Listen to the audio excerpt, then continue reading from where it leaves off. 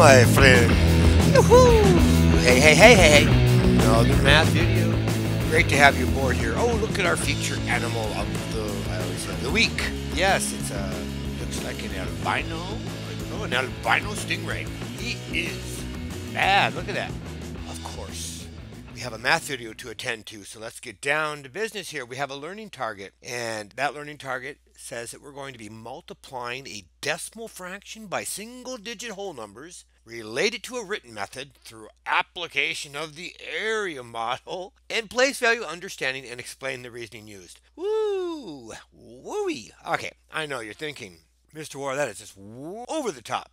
Well, you know what? It is. But you know what? There's a lot more words there making it seem more confusing. Once we get to the end of this video, I think you're going to feel a little bit more confident. So let's see what we have here. We have some language frames to deal with here. Uh, language frames are great in math. It helps us verbalize our thinking, our mathematical reasoning. Here it says it says I used blank to help me solve because when we start using these kinds of language frames it helps us and it probably keeps us away from going like like like you know like i was there but like i wasn't really there and you know it makes it kind of makes it difficult right anyways my model shows my thinking because i chose to use blank as my tool to solve because and after a while you won't need to use frames anymore where it looks like we're also going to be focusing on a mathematical practice it says use appropriate tools strategically. We'll be doing that. We're going to be using a place value chart and of course an area model. And these are great for making sure that it deepens our math understanding. Okay, and that's the purpose why we have that. All right, let's move on. What's keeping us? All right. Whoa, boy, he just got big on me. He scared me there for a second. He's kind of cool. He's like part of the video. Yeah. Okay, well, let's look at this very first one here. I probably could go ahead and start to model that on my place value chart. Let me go ahead and, and make that a little bit larger. Let's go ahead and take our two tenths and show that on our chart. So I'm going to draw two of those. And now um, we're going to make three copies of those two tenths. All right. Okay, complete. There we go. Oh, look what we just did. We made three copies of two tenths. And now let's go ahead and do the algorithm. So for our algorithm, we want to go ahead and put our two tenths times three copies of that 2 tenths. We have 6. And we have a decimal place here, but I'm going to do 0 times 3, which is 0. And if you notice, we have that decimal place there that we need to pull out out of the factor here of 0.2. And when we pull that out and we're actually multiplying by 10, my way I'm going to teach this here, then we're going to put it back in right here because we need to divide by 10. And by doing that, we don't change the value. If you took any number and you multiplied it by 10 and then you divide it by 10, it's going to get you right back where you were. So we're not we're not like breaking any rules, you know. Pretty pretty simple. Cool. Let's move on to the next one. So again, I'm going to go ahead and represent 3 tenths. Now that I've represented 3 tenths, I can go ahead and I need to make three copies of that. Cool, now I have my three copies, three copies of 3 tenths. Then, again, is 0 over here in the ones place. Here's my decimal place. I usually put that in there right away, but to separate. And then I have 9, 0.9. Well, let's go ahead and do the algorithm. Again, 0.3 times 3, we have 9, and here we have 0. I'm going to go ahead and multiply by 10 to get that decimal out. Then I'm going to come over here and I'm going to divide by 10. Okay, that's what I'm doing. Put that decimal place right back in. So you can see we have a matchup. Great. Okay, very interesting. We have a pattern here. We did we did three copies of point two. We did three copies of point three. Let's go ahead and represent this one as well. There I have my three tenths. I'm going to make four copies. Now we have our four copies of three tenths. But now we have 3, 6, 9, 12. So we actually have 12 tenths here. Well, we can't have a double digit, right, in one place value column. Here's my decimal. So that means we need to rename. And you may recall that we did this with adding and subtracting, so let's go ahead and rename this. I have 3, 6, 9. Here's 10. 10 tenths I know makes one whole. So I can come over here and now put one whole over here. I'm going to put that 1 right down here. Now how many do I have left over? I have 2 left over. Let's go ahead and do the algorithm. Here we have our 0.3 times 4. Lining up my digits, not my decimal places. Here I have 12. Carry the 1. 4 times 0. 0 plus 1 is 12. Now, our answer is not 12, it's 1.2. Uh, that's right, we need to multiply that 1 power of 10 out of that decimal place because we have 1 power of 10. So if we do that, we need we need to make sure that we divide it by 10 again to get that decimal place back. And then we have a nice match. Woohoo! This is just so easy.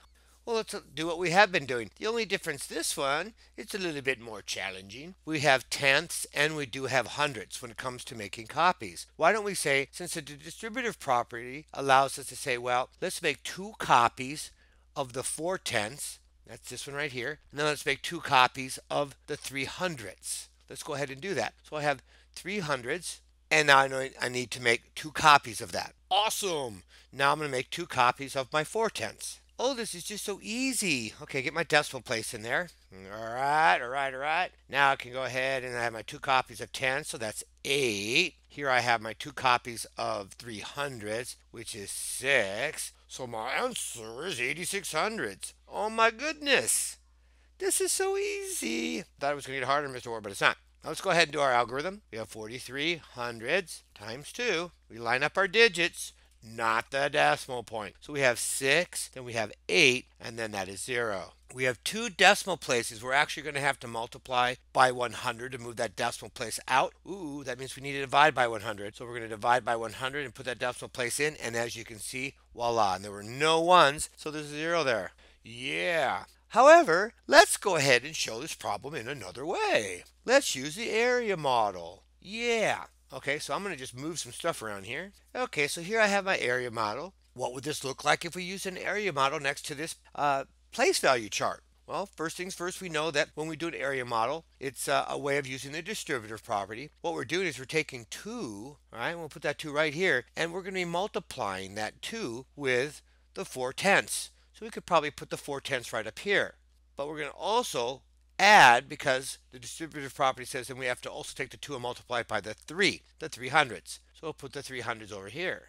Now we have 2 times 4 tenths, which is 8 tenths. We also have 3 hundredths times 2, which is going to be 6 hundredths. So now I can go and show the decimal down here. So this is going to be really 0 0.8 plus 0 0.06, because remember that's 6 hundredths. So what are some of the similarities and differences between these two models? Well, we look here, we definitely here, you can see that we're getting like partial products.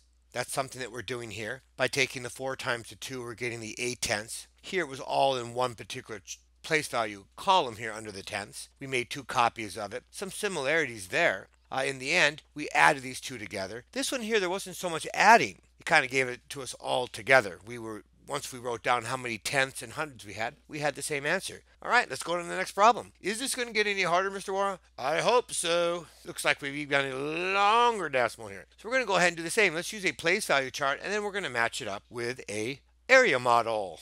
Okay, so let's go ahead and do what we've been doing. We have four tenths over here, so let's represent the four tenths. We need to make two copies. Awesome, there's our two copies. Now we need two hundreds. And finally, we have three thousandths. And we need to make two copies. Now, we don't have any ones. Here's my decimal point, always right between the ones and the tens place. Uh, looks like we have eight here, we have four here, and we have six. We, in essence, did the place value model where we made double copies of each. Let's go ahead and represent that on an area model. Again, we have two, so like we did before, we're going to go ahead and multiply that two with the tenths column, which is four, and we have four tenths there. Okay, now we also we have two hundreds here.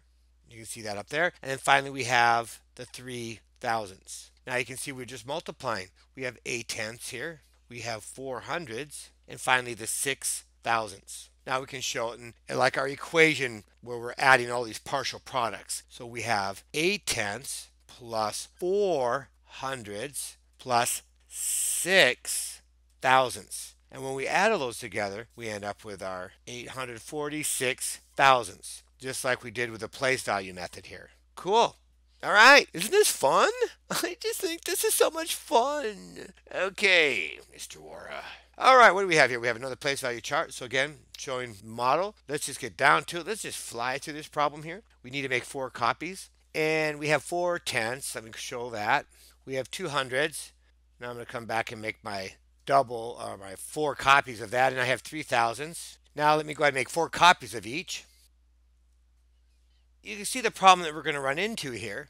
We have a lot of tenths here, more than we're allowed to have, right, in each place value column. We had 4, so we have 4, 8, 12, 16 right? Here we're okay. We have 8. Then look over here. We have 3, 6, 9, 12. So the best way to start renaming these is to work from our thousands, right? And move on over. Because we don't know as we keep regrouping, we may end up with more than we can have in the hundreds, for example, and then we'll need to kind of rename again. That's the best way to do this. So let's go ahead and do that. We have 3, 6, 9, 12. So we can take 10 thousandths then and rename that as one more hundredth. Okay, let's go ahead and do that. Okay, so you see I have 3, 6, 9, plus one more is 10. So I named 10 thousandths as one more 100. I put him in red so he'd be easy to see. And now I have 4, 8, 9 hundredths, which is okay. 9 we're good. But when we come over to tenths here, that's a problem. 4, 8, 12, 16, yeah, that's a problem. So let's rename 10 of those. Okay, see I have 4, 8, 9, 10. So I've taken 10 tenths, which I know is equal to one whole. So I'm going to go ahead and move that and make one disk over here into the ones place. Now it looks like that I'm okay. So here I have, I have one whole. Remember, this is where my decimal point is. Over here I have four, it looks like six tenths. I have had eight, but plus that one now there, now I have nine. And then I have two thousandths. So I end up with one and 692 thousandths. That's using the place value chart. Okay, so I'm going to put my four, that single digit whole number that we was in our learning target, and I'm going to be multiplying that with each one of those place value digits. I have four tenths, so I'm going to write that up there. But I'm adding that this is the way we use the distributive property, plus two hundreds. And finally, I'm going to add my three thousandths.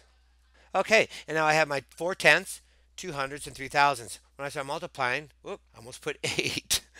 16. You can see why we always want to check our work at the end, right? And make sure that we're on track. Very easy to make simple little mistakes like that. Adding and multiplying especially. And now we have 4 times 3, which is 12 thousandths. We are multiplying. Now we can go ahead and show that as our decimal. So if 16 tenths, well, 16 tenths really is, yeah, one whole with 6 tenths plus 8 hundredths, which is, and then our 8 hundredths, which is written 0 0.08. And finally, we have 12 thousandths. Now, what's important is sometimes people get confused, but with 12 thousandths, remember, it's always got to go uh, to that thousands place if we're going to call it thousands. So there has to be three decimal places here, and we only have two digits. So I need to put a zero there, then I put my 12. Now I have 12 thousandths. And of course, if we put that all together, we're going to end up with 1.6. You can see right here. Oh, that's going to be 8 hundredths, and that 100, that's going to be 9. I'll go ahead and let's do so you can see the algorithm. And when you add them, you can see what's going to happen here. We're going to end up with a number over here. Woohoo! Yeah! Yes, I love it. Okay, another problem. Yes, the finale. Okay, so let's go ahead and use the area model then and show this. Remember, we have our 6, which is our single digit whole number that we're going to be multiplying. Here, in this case, we actually have whole number part, which are the ones. So that's just going to be being multiplied by 1, 1.